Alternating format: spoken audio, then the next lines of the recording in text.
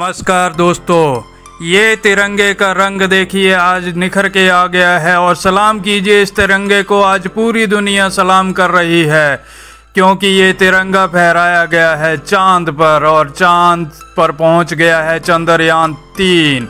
Vikram lander ने softly land किया है, तस्वीरों में आप देख सकते हैं, लाइव तस्वीरें इसरो से और ये चंद्रयान तीन से जो विक्रम लैंडर है, वो चाँद पर पहुँच गया है और चाँद से सीधी तस्वीरें।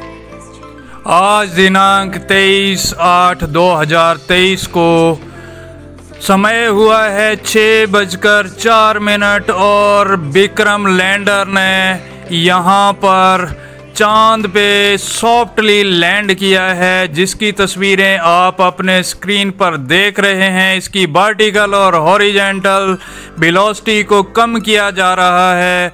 जैसे जैसे इसकी दूरी चाँद से कम होती जा रही है। इसकी पोजीशन और इसकी वेलोसिटी को कम किया जा रहा है और थोड़ी ही देर में ये लैंड करने वाला है। ये ऐतिहासिक पल हैं और इन ऐतिहासिक पलों के लिए पूरी दुनिया की निगाहें लगी हैं और हर हिंदुस्तानी का सीना चौड़ा हो गया है। हर हिंदुस्तानी को इस पल पे गर्व होना चाहिए और हमें गर्व है अपने वैज्ञानिकों पे इसरो की पूरी टीम पे और हम सल्यूट करते हैं इन महानुभावों को इन अपने महान वैज्ञानिकों को जिन्होंने इस मिशन को पूरा किया है।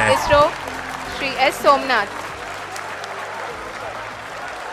lander module पूरी तरह से सेफली और सॉफ्टली चंद्रमा के सतह पे लैंड हो चुका है।